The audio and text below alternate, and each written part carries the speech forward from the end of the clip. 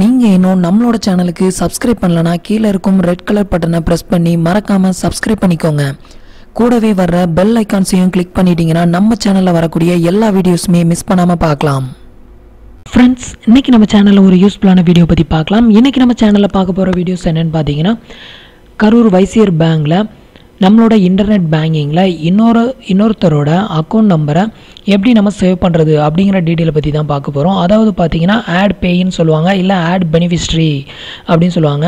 உங்களோட இன்டர்நெட் பேங்கிங்கில் நீங்கள் யாருக்கு வந்து பணம் அனுப்பணும் அப்படின்னு நினைக்கிறீங்களோ அவங்களோட அக்கௌண்ட் நம்பரை நீங்கள் வந்து உங்களோட இன்டர்நெட் பேங்கிங்லேயோ மொபைல் பேங்கிங்கை யூஸ் பண்ணியோ நீங்கள் சேவ் பண்ணி வச்சுக்கிட்டீங்க அப்படின்னா ஃப்யூச்சர்லேயோ இல்லை நீங்கள் ஒருத்தருக்கு இமீடியட்டாக மணி ட்ரான்ஸ்ஃபர் பண்ணனாலும் நீங்கள் வந்து ஈஸியாகவே ட்ரான்ஸ்ஃபர் பண்ணிக்கலாம்.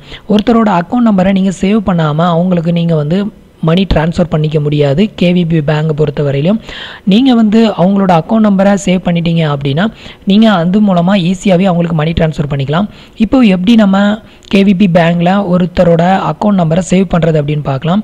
ஃபஸ்ட்டு உங்களோட ப்ரௌசரை ஓப்பன் பண்ணிக்கோங்க. உங்கள் ப்ரௌசரை ஓப்பன் பண்ணிவிட்டு அதில் கேவிபி பேங்க் இன்டர்நெட் பேங்கிங் அப்படின்னு டைப் பண்ணிக்கோங்க. இதில் ஃபஸ்ட் வெப்சைட் பார்த்தீங்கன்னா இதுதான் வந்துட்டு கேவிபி பேங்கோட வெப்சைட்டு இந்த வெப்சைட்டை கிளிக் பண்ணிக்கோங்க. நெக்ஸ்ட்டு லாகின் அப்படின்னு இருக்கும். இந்த ஆப்ஷனை ப்ரெஸ் பண்ணிக்கோங்க. கண்டினியூ டு லாகின் கிளிக் பண்ணிக்கோங்க. இப்போ உங்களோட அக்கௌண்ட் ஐடி நம்பரை என்ட்ரு பண்ணி லாகின் பண்ணிக்கோங்க. இப்போ பார்த்தீங்கன்னா நான் வந்து என்னோடய பேங்க் அக்கௌண்ட்டை வந்து லாகின் பண்ணியிருக்கிறேன். இது மாதிரி தான் உங்களுக்கு பேஜ் வந்து ஓப்பன் ஆகும். இப்போ நீங்கள் ஒருத்தரோட அக்கௌண்ட் நம்பரை உள்ளே சேவ் பண்ணணும் அப்படின்னா இதுலேயே மேலே ஹெட்லைனில் பார்த்தீங்கன்னா அக்கௌண்ட்டுக்கு அடுத்தால செகண்ட் ஆப்ஷன் பேமெண்ட் அப்படின்னு இருக்கும். இந்த ஆப்ஷனை சூஸ் பண்ணிக்கோங்க. இந்த ஆப்ஷனை சூஸ் பண்ணதும் உங்களுக்கு பேஜில் இந்த மாதிரி தான் ஓப்பன் ஆகும். இப்போ இதில் நீங்கள் ஒருத்தரோட காண்டாக்டை சேவ் பண்ணுறதுக்கு என்ன பண்ணணும் அப்படின்னு பார்த்தீங்கன்னா இதிலே லெஃப்ட் சைடில் கீழே லாஸ்ட் பாட்டமில் வந்தீங்கன்னா பெனிஃபிட்ரி மெயின்டெனன்ஸ் அப்படின்னு ஒரு ஆப்ஷன் கொடுத்துருப்பாங்க. இந்த ஆப்ஷனை சூஸ் பண்ணிக்கோங்க. இப்போ பார்த்தீங்கன்னா உங்களுக்கு இது மாதிரியான டீட்டெயில் தான் ஓப்பன் ஆகும். இப்போ நீங்கள் என்ன பண்ணணும் அப்படின்னா இதில் டிரான்சாக்ஷன் டைப் அப்படின்னு கொடுத்துருப்பாங்க. இந்த டிரான்சாக்ஷன் டைப்பில் வந்துட்டு கிளிக் பண்ணிக்கோங்க.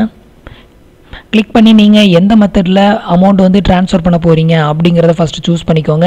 நீங்கள் ஆள் கொடுத்தீங்க அப்படின்னா உங்களுக்கு வந்துட்டு சேவ் ஆகாது. ஸோ நான் ஐஎம்பிஎஸ் கொடுக்குறேன். ஐஎம்பிஎஸ் மூலமாக ஒருத்தருக்கு டுவெண்ட்டி ஃபோர் ஹவர்ஸ் வந்து நீங்கள் மணி ட்ரான்ஸ்ஃபர் பண்ணிக்க முடியும். அதர் பேங்க் அதர் மெத்தட் பார்த்தீங்கன்னா ஒர்க்கிங் ஹவரில் மட்டும்தான் பண்ணிக்க முடியும். ஸோ நான் ஐஎம்பிஎஸ்ஸை வந்து சூஸ் பண்ணிக்கிறேன்.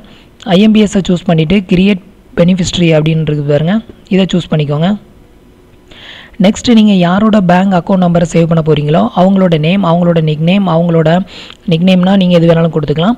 உங்களுக்கு தெரிகிற மாதிரி நீங்கள் கொடுத்துக்கிறதா நிக் நேம் நெக்ஸ்ட் அவங்களோட அக்கௌண்ட் நம்பர் அவங்களோட ஐஎஃப்எஸ்சி கோட் இவ்வளோ டீட்டெயில் வந்து இருந்ததுன்னா போதும். அவங்களோட அக்கௌண்ட் நம்பரை வந்து ஈஸியாகவே நீங்கள் சேவ் பண்ணிக்கலாம். இதை யூஸ் பண்ணி தான் நம்ம வந்துட்டு ஒருத்தரோட அக்கௌண்ட் நம்பரை வந்து சேவ் பண்ண போகிறோம் இப்போ எக்ஸாம்பிளுக்கு நான் வந்து என்னோட அக்கௌண்ட் நம்பரை சேவ் பண்ணி காட்டுறேன்.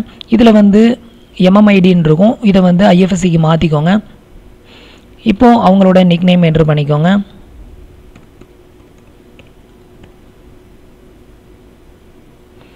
நெக்ஸ்ட்டு அவங்களோட பெனிஃபிஸ்ட்ரி நேம் வந்துட்டு இதில் என்ட்ரு பண்ணிக்கோங்க.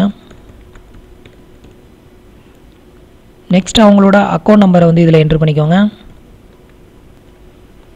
நெக்ஸ்ட் அக்கௌண்ட் டைப் அது சேவிங் அக்கௌண்ட்டா கரண்ட் அக்கௌண்ட்டா அப்படிங்கிறத வந்து இதில் நீங்கள் சூஸ் பண்ணிக்கோங்க.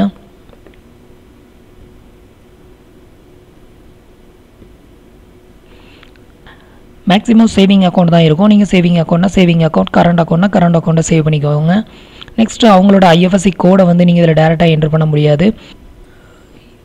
ஐஎஃப்எஸ்சி கோடுக்கு என்ன பண்ணணும் அப்படின்னு பார்த்தீங்கன்னா ஐஎஃப்எஸ்சி கோடில் வந்துட்டு கிளிக் பண்ணிவிட்டு இதில் ஒரு சர்ச் ஆப்ஷன் ஒன்று கொடுத்துருப்பாங்க. இந்த ஆப்ஷனை சூஸ் பண்ணிக்கோங்க. இப்போ உங்களுக்கு இது மாதிரி நியூவாக ஒரு பாப்பப் ஒன்று ஓப்பன் ஆகும். இந்த பேஜில் பார்த்தீங்கன்னா IFSC code bank name branch இந்த மூணுமே கொடுத்துருப்பாங்க. நீங்கள் இந்த மூணுமே ஃபில் பண்ணணும் அப்படிங்கிற அவசியம் கிடையாது. நீங்கள் ஐஎஃப்எஸ்சி கோடு மட்டும் கொடுத்து சர்ச் பண்ணிங்கன்னா அந்த பேங்கோட ஃபுல் டீட்டெயில் வந்து கீழே ஓப்பன் ஆயிரும். இப்போ எக்ஸாம்பிளுக்கு நான் ஓப்பன் பண்ணி நான் பண்ணி காட்டுறேன். இப்போ எக்ஸாம்பிளுக்கு பார்த்தீங்கன்னா நான் என்னோட ஐஎஃப்எஸ்சி கோட் சர்ச் டைப் பண்ணியிருக்கிறேன். இதே மாதிரி நீங்கள் வந்து எந்த பேங்கோட ஐஎஃப்எஸ்சி கோடை நீங்கள் என்டர் பண்ண போகிறீங்களோ அந்த கோடை டைப் பண்ணிவிட்டு இதில் சர்ச் ஆப்ஷன் இருக்கும். அதை கிளிக் பண்ணி சர்ச் பண்ணுங்கள் இப்போ நீங்கள் கொடுத்துருக்கிற ஐஎஃப்எஸ்சி கோட் கரெக்டாக இருந்ததுன்னா அந்த பேங்கோட டீட்டெயில் எல்லாமே கீழே வந்து ஓப்பன் ஆயிரும்.